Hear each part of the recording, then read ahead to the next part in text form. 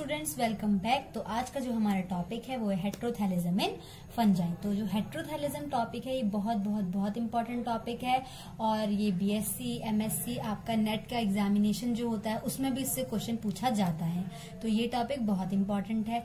सबसे पहले अब हमारा डिस्कस करेंगे, सबसे पहले कि this term was first use by American geneticist A F Blakeslee A F Blakeslee ने 1904 में या 1904 में इस वर्ड को डिस्कवर किया था फ़र्स्ट यूज़ किया था। और ये जो हेट्रोथेलिज्म का जो फिनोमिना है, उन्होंने किसमें इसको ऑब्ज़र्व किया था? जो कुछ स्पीशीज है मॉर्करेल्स की, उसमें किया था, ठीक है? जो मॉर्करेल्स की कुछ स्पीशीज है, उसमें किया था। This is a condition of sexual reproduction in certain species of Mucorales इसका मतलब ये कि, अब मैं आपको बता दूँ कि हेट्रोथैलिज्म सेक्सुअल रिप्रोडक्शन नहीं होता बट सेक्सुअल रिप्रोडक्शन की तरह होता है, ठीक है? इसमें बहुत फ़र्क है। So it occur in the place of sexual reproduction ये ऑब्ज़र्व किया गया कि कुछ जो स्पीशीज थी मॉर्करेज की, उसमें जाइगोस्पोर जो है, वो कुछ में तो इंडिपेंडेंटली बन रहे थे बट कुछ में क्या हो रहा था? जब अपोजिट स्ट्रेन्स के दो माइसीलिया जो है डिफरेंट स्ट्रेन्स के that is positive and negative strain के जब आपस में इंटरेक्ट कर रहे थे या कॉन्टेक्ट में आ रहे थे तो उससे जाइगोस्पोर बन रहा था। ठीक है। तो जाइगोस्पोर क्या चीज़ होती है? जाइगोस्पोर एक रेस्टिंग स्पोर होता है जनरली थिक वॉर्ड स्पोर होता है और ये आपकी एलगी हो गया फंजाई हो गई, इन सब में फॉर्म होता है। तो अब हम देख लेते हैं हेट्रोथैलिज्म हेट्रोथैलिज्म वो कंडीशन होता है जहाँ पे क्या है कि दो अपोजिट स्ट्रेन्स के जो मेटिंग टाइप होते हैं, वो आपस में इंटरेक्ट करते हैं और उन दोनों के इंटरेक्शन से क्या होता है जायगोस्पोर जायगोस्पोर्स की फॉर्मेशन होती है। और होमोथैलिज्म क्या होता है? होमोथैलिज्म वो कंडीशन होती है जहाँ पर क्या होता है कि जो हमारे जायगोस्पोर्स है, वो इंडिपेंडेंटली बनते हैं, बिना किसी दूसरे जो है इंडिविजुअल पे डिपेंडेंट हुए। ठीक है? ये चीज़ है। यहाँ पे आप समझ जाएँगे। जैसे ये मैं आपको डायग्राम दिखा रही हूँ। तो यहाँ पे ये है थोड़ा लाइट कलर मैंने बनाया है, जो क्या आपको शो कर रहा है। मैंने लाइट कलर यहाँ पे बनाया है। ये आपको क्या शो कर रहा है? ये है आपका माइसीलिया ठीक है? जो नेगेटिव स्ट्रेन का है, यहाँ पे पॉजिटिव स्ट्रेन का माइसीलिया है। और ये जो है यहाँ पे इसका ये जो स्ट्रेन है नेगेटिव वो है, यहाँ पे पॉजिटिव है। अब क्या होगा कि जब ये, जिस पॉइंट में भी ये दोनों अपोजिट स्ट्रेन के हाइफे आपस में कांटेक्ट में आएँगे, वहाँ पे क्या होगा? जाइगोस्पोर्स की फॉर्मेशन होगी, ठीक है? तो अब क्या है? हेट्रोथैलिज्म में आपको बस मेन चीज़ ये याद रखनी है। हेट्रोथैलिज्म जो फिनोमिना है, उसकी एग्जिस्टेंस के लिए, उसको अकर होने के लिए दो डिफरेंट मेटिंग टाइप्स दो अपोजिट स्ट्रेन के मेटिंग टाइप्स बहुत बहुत बहुत इंपॉर्टेंट है, ठीक है? अब हम पढ़ेंगे कि इसके टाइप्स क्या होते हैं। जनरली दो तरह का होता है। ये पहला होता है मॉर्फोलॉजिकल हेट्रोथैलिज्म और दूसरा होता है फिजियोलॉजिकल मॉर्फोलॉजिकल हेट्रोथैलिज्म में क्या होता है कि इस कंडीशन में जो फीमेल और जो मेल, जो सेक्स ऑर्गन्स हैं, जो गैमीट्स हैं, जो गैमिटेंजिया हैं, वो क्या होते हैं? मॉर्फोलॉजिकली डिफरेंट होते हैं। मॉर्फोलॉजिकली डिफरेंट कहने का मतलब है कि जो उनके जो आउटर फीचर्स हैं, जो उसका आउटर अपेयरेंस होते हैं, वो क्या होते हैं? डिफरेंट होते हैं। दोनों ही सेक्स ऑर्गन्स डिफरेंट होते हैं और वो इस, तरीके से वो इतने डिफरेंट होते हैं कि आप इजीली वो फाइंड आउट कर सकते हैं कि वो मेल है या फिर फीमेल है। एग्ज़ाम्पल जैसे एटलिया आपका एम्बी सेक्शुअलिस्ट ठीक है? अब क्या होता है कि जो ब्लास्टोक्लैडिला होता है, उसमें क्या होता है कि मेल गैमिटेंजिया फीमेल से स्मॉलर होता है। और ये हमें कैसे पता चल रहा है? क्योंकि हम बोल रहे हैं कि मॉर्फोलॉजिकल हेट्रोथैलिज्म में मॉर्फोलॉजिकली डिफरेंसेस होते हैं। और हम मॉर्फोलॉजिकल डिफरेंसेस देख के इजिली पता लगा सकते हैं कि मेल कौन सा है और फीमेल कौन सा है।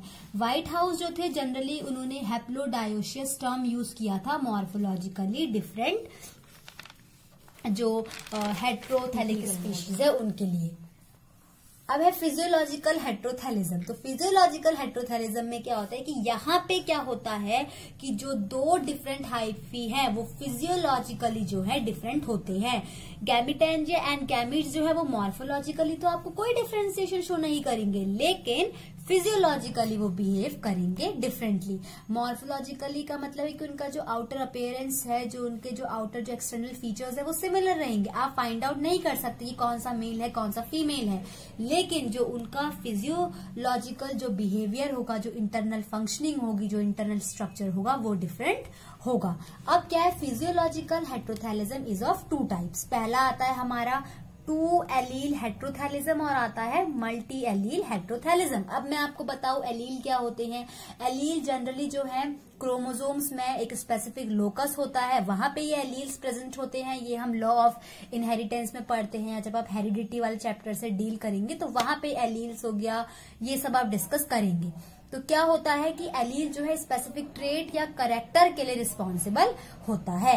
अब हम पहले पढ़ते हैं टू एलील हेट्रोथेलिज्म तो टू एलील में क्या होता है कि यहाँ पे जो भी दो न्यूक्लियाई मेट करते हैं, जो भी दो मेटिंग टाइप होते हैं, उनके न्यूक्लियाई जो हैं, दोनों क्या होते हैं डिफरेंट होते हैं और वो डिफरेंट उनके जेनेटिक करेक्टर्स होते हैं, ठीक है?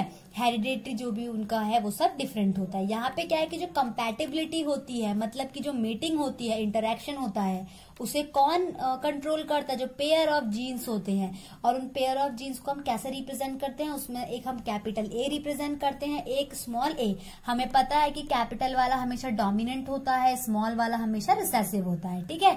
और ये दोनों ही क्या होते हैं? पेयर में प्रेजेंट होते हैं। एक का पेयर होता है उसमें दो एलिल्स होते हैं। और वो कहाँ पे प्रेजेंट होते हैं? एक सेम दोनों ही सेम लोकस में प्रेजेंट होंगे ठीक है? अब क्या होता है कि कैपिटल ए डोमिनेंट जो है इसका डोमिनेंट जो है नेचर होता है, इसीलिए हम इसको पॉजिटिव से जो है शो करते हैं रिप्रेजेंट करते हैं और स्मॉल ए को नेगेटिव से, क्योंकि ये रिसेसिव होता है। अब क्या होगा, जब म्योसिस होती है तो सेपरेशन होता है क्रोमेटिड्स का, ठीक है? तो क्रोमेटिड्स का सेपरेशन होगा, उससे क्या होगा कि हाफ़ जो होंगे हाफ़ जो होंगे उसमें पॉजिटिव एलियंस चले जाएँगे हाफ़ स्पोर्ट्स में और हाफ़ स्पोर्ट्स जो बनेंगे उसमें नेगेटिव एलियंस चले जाएँगे, ठीक है? हमने पढ़ा है ना कि दो स्ट्रेन होते हैं नेगेटिव और पॉजिटिव अब क्या है, जिस स्पोर में पॉजिटिव एलियंस जो है वो प्रेजेंट होंगे, वो पॉजिटिव माइसीलिया बनाएँगे और जिसमें नेगेटिव एलियल्स होंगे, वो नेगेटिव माइसीलिया बनाएँगे। तो इसीलिए क्या है कि द माइसीलिया दो सेम स्ट्रेन आपस में कभी भी कंपैटिबल नहीं होते हैं. दे आर इनकम्पैटिबल इनकम्पैटिबल मतलब उनमें कभी मेटिंग या कभी उनमें इंटरेक्शन हो ही नहीं सकता है. हमेशा अपोजिट जैसे प्लस माइनस में हो सकती है मीटिंग ये कंपैटिबल है. माइनस प्लस हो सकता है, लेकिन प्लस प्लस या माइनस माइनस दो सेम स्ट्रेन कभी भी आपस में इंटरेक्ट नहीं कर सकते. वो इनकम्पैटिबल हो जाते हैं.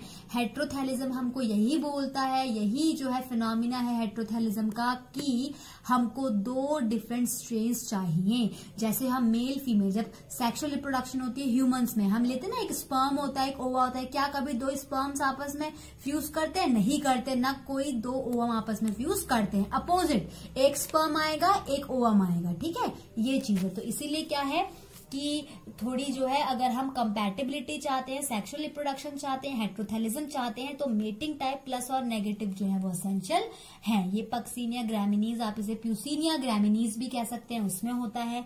यूस्टिलेगो कोलीरी में होता है।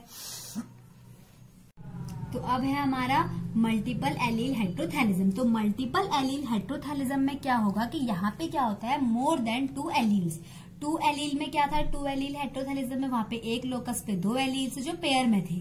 यहाँ पर क्या होगा? दो से ज़्यादा एलील्स होंगे। तो क्या है कि यहाँ पे क्या है कि बहुत सारे एलील्स बनते हैं।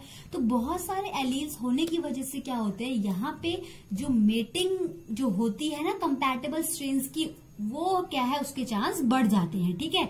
अब ये टू टाइप्स का होता है मल्टीपल एलील हेट्रोथैलिज्म एक होता है हमारा बायपोलर मल्टीपल एलील हेट्रोथैलिज्म और एक होता है हमारा tetrapolar multiple alleles heterothallism bipolar multiple allele heterothallism में क्या होता है कि यहाँ पे एक ही लोकस में दो से ज़्यादा एलील्स प्रेजेंट होंगे, ठीक है? दो से ज़्यादा एलील्स होंगे, एक ही लोकस में प्रेजेंट जैसे मान लीजिए एक लोकस है एल वहाँ पे डिफरेंट एलील्स प्रेजेंट है like L one L two L three L four and till L N तो यहाँ पे एक सिंगल लोकस एल पे प्रेजेंट है। अब क्या होगा कि माइटोटिक डिवीज़न होगा। माइटोटिक डिवीज़न के बाद क्या होगा कि जो नंबर ऑफ़ मेटिंग टाइप्स हैं, वो बनेंगे। और जो ये नंबर होता है ना मेटिंग टाइप्स का, ये किस चीज़ पे डिपेंड रहता है? नंबर ऑफ़ एलिल्स पे। जितने ज़्यादा एलिल्स होंगे, उतने ज़्यादा क्या बनेंगे? मेटिंग टाइप्स की फॉर्मेशन होगी। अब एक चीज़ याद रखनी है कि जो थैलस में एल वन प्रेजेंट है, वो थैलाई या वो थैलस उसी थैलस के साथ इंटरेक्ट करेगा। या कंपैटिबल होगा, जिस थैलस में एल के अलावा कोई दूसरा जो है एलील होगा। एक चीज़ है, मान लीजिए एक हमारे पास थैलस है, उसमें एल वन एलील है, और दूसरा थैलस है, उसमें एल वन एलील है। तो दो सेम एलील वाले कभी भी आपस में कंपैटिबल नहीं होंगे। जैसे अगर एक एल है तो दूसरे का एल टू होना, या एल के अलावा कोई भी दूसरा एलील होना इम्पोर्टेंट है। तो इसीलिए क्या है ये हमने पहले भी पढ़ा था कंपैटिबिलिटी के लिए डिफरेंट स्ट्रेस का होना बहुत इंपॉर्टेंट है। तो यहाँ पे हम नेगेटिव पॉजिटिव ना लेके यहाँ पे हम L one L two L three alleles बोल रहे हैं, ठीक है? तो ये बात आपको याद रखनी है। तो क्या है कि जब जब क्या होता है कि दो सेम थैलाई जो है विथ सेम एलील्स जब सेम एलील्स होते हैं, दो थैलाई में, जैसे एक थैलाई में एल है, दूसरे में भी एल है तो वो कंपैटिबल नहीं है। वो क्या होते हैं? इनकम्पैटिबल होते हैं। तो इनकम्पैटिबल जो वो फिनोमिना आता है, उसको हम बोलते हैं इनकम्पैटिबिलिटी फैक्टर और इनकम्पैटिबिलिटी फैक्टर कब आता है? जब दो थैलाई में या थैलस में एक जैसे एलियस होते हैं। जैसे दैट इज़ अगर एक में एल है तो दूसरे में भी एल है। ठीक है कंपैटिबिलिटी तब आती है कंपैटिबल वो तब हम होंगे जब एक में एल होगा और दूसरे में एल के अलावा कोई भी दूसरा हो सकता है। अब देखिए, जैसे ये बेसिडियोमाइसिटीज में होता है एक्सेप्ट रस्ट एंड स्मल्स अब जैसे मैं आपको डायग्राम से आप बहुत अच्छी तरीके से समझ जाएँगे। जैसे मान लीजिए ये चार थैलाई है हमारे पास और ये चार थैलस है, या थैलाई है, ठीक है? एक में एल वन एलील है एन का मतलब है नॉन कंपैटिबल और सी का मतलब है कंपैटिबल तो एक थैलस में एल वन है, दूसरे में एल वन है। तो क्या ये दोनों आपस में कंपैटिबल होंगे? ये आपस में कंपैटिबल नहीं होंगे, क्योंकि हमें पता है कि कंपैटिबिलिटी होने के लिए दोनों ही थैलस में अलग अलग स्ट्रेन का, यानी कि अलग अलग एलिल्स का होना जो है वो इम्पोर्टेंट है। तो ये चीज़ आपको याद रखनी जैसे अगर मान लो एक में L2 है, एक में L1 है ये कंपैटिबल होंगे क्योंकि एक थैलस में तो L1 एलील है, दूसरे थैलस में L2 है। तो ये आपस में कंपैटिबल होंगे। ऐसी L3 है L1 है, ये कंपैटिबल होंगे। L1 L4 और L1 ये भी कंपैटिबल होंगे। ठीक है? ऐसी ये टेबल है, आप समझ जाएँगे इसको। जैसे हम मेंडल्स के लॉ में करते थे, वैसे ही पढ़ना है हमको ये। जो दूसरा आता है हमारा tetrapolar multiple alleles heterothallism यहाँ पे क्या होता है कि दो डिफरेंट लोकाई में, दो लोकस होते हैं, उनमें आधे आधे जो हैं एलील्स प्रेजेंट होते हैं। जैसे दो लोकाई है हमारे पास एल वन और एल टू क्रोमोजोम्स होते हैं, उसमें क्रोमेटिड्स होते हैं। वो क्रोमेटिड्स सेंट्रोमेयर से अटैच रहते हैं और उन क्रोमेटिड्स में क्या होता है? दो लोकाई होते हैं। उन लोकाई में या लोकस में क्या होते हैं? एलीज प्रेजेंट होते हैं। तो क्या होगा कि जब माइटोटिक जब ये आपकी माइटोटिक डिवीज़न होगी तो उस टाइम पे क्या होगा कि both the loci are separated with chromatids जब क्रोमेटिड्स सेपरेट होंगे तो क्रोमेटिड्स के साथ साथ क्या होगा? जो हमारे लोकाई है, जिनमें एलीज प्रेजेंट है, वो भी सेपरेट होंगे। ठीक है? सेपरेट होंगे। अब क्या चीज़ है? एटलीस्ट एक लोकस पे एटलीस्ट एक लोकस पे जो है हंड्रेड एलील्स प्रेजेंट होते हैं। अब क्या चीज़ आती है कि इफ़ द एलील्स कंपोजिट इसमें भी वही चीज़ है, अगर दो थैलस में एलील्स सेम होंगे ठीक है? सेम पेयर ऑफ़ एलील्स अगर दोनों में होगा तो वो कंपैटिबल नहीं होंगे। कंपैटिबिलिटी के लिए डिफरेंट एलील्स का होना इंपॉर्टेंट है। मान लीजिए जैसे यहाँ पे हम पेयर में क्यों ले रहे हैं? क्योंकि यहाँ पे दो लोकस है। मान लीजिए ये है, इसमें ए वन बी वन है। इसमें ए वन बी वन क्या ये दोनों आपस में कंपैटिबल होंगे? नहीं होंगे। ये दोनों आपस कंपैटिबल नहीं होंगे। कंपैटिबल होने के लिए एक ए वन बी वन है। तो दूसरे को इसके ए वन बी वन के अलावा और कोई भी अगर पेयर होगा तो वो कंपैटिबल होगा। जैसे ए टू बी टू है। तो दोनों में अलग अलग एलील्स हैं। इसमें वन है, इसमें टू है। तो ये कंपैटिबल होंगे। ठीक है? यहाँ पे हम दो क्यों ले रहे हैं, क्योंकि यहाँ पे दो लोकस पे प्रेजेंट है। ये आपको चीज़ याद रखनी है। अब इसमें भी हम टेबल से समझ जाएँगे, आपको टेबल से अच्छे से इसमें समझ में आ जाएगा। एन का मतलब होता है non compatible N F C का मतलब है नॉट फुली कंपैटिबल और सी का मतलब है कंपैटिबल यहाँ पे मैंने नीचे से मेंशन किया है, आप यहाँ पे देख सकते हैं। अब जैसे मैं आपको बता दूँ, सबसे पहले हम पढ़ेंगे नॉन कंपैटिबिलिटी का केस नॉन कंपैटिबिलिटी का केस तब बनेगा जब दोनों ही थैलाई में सेम पेयर ऑफ़ एलिल्स होंगे। जैसे एक थैलाई में अगर ए वन बी वन है तो दूसरे में भी ए टू बी टू है। तो ये क्या है? नॉन कंपैटिबल होंगे। अपोजिट नहीं है ना, एक जैसे हैं, देखो। A one B one A one B one ठीक है? नॉट फुली कंपैटिबल का केस कब बनेगा? जब क्या होंगे कि दोनों पेयर्स में से, एक पेयर तो दोनों ही थैलस में सेम होंगे, लेकिन दूसरा जो होगा पेयर का, जो एलील होगा, वो डिफरेंट होगा। जैसे कि एक में अगर ए वन बी वन है सॉरी एक में अगर ए वन बी टू है और एक में अगर ए वन बी वन है तो ये नॉट फुली कंपैटिबल होंगे। पहली बात ये कंप्लीटली कंपैटिबल क्यों नहीं है? क्योंकि देखो ये जो पेयर है और जो ये पेयर है, इसमें ए वन ए वन दोनों में सेम है। तो ये तो कहीं से कंपेटेबल नहीं हुए। लेकिन ये आधे कंपेटेबल क्यों है? क्योंकि यहाँ पे बी वन एलील है, यहाँ पे बी टू है। सेकंड जो एलील है, दो एलील जो है, वो तो अलग अलग है ना? भले ही पेयर में यहाँ पे दोनों में स्टार्टिंग के जो फ़र्स्ट जो दोनों में एक एक एलील है, वो सेम है, लेकिन दूसरे क्या है? डिफरेंट है। तो इसीलिए ये नॉट फुली कंपैटिबल है। अब बात करते हैं कंपैटिबिलिटी की, जब दोनों में डिफरेंट स्ट्रेन होंगे, एक में ए वन बी वन है तो एक में ए टू बी टू है, दोनों में अलग अलग है तो ये क्या है? कंपैटिबल है। इसी तरीके से ए वन बी टू में ए वन बी वन ये नॉन नॉट फुली कंपैटिबल होंगे, क्योंकि यहाँ पे ए वन ए वन देखो सेम है दोनों में। यहाँ पे बी वन और बी टू है तो ये आधे तो है ना?